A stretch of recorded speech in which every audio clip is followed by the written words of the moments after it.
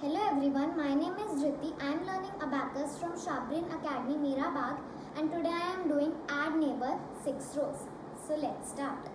9 minus 7 8 2 minus 2 3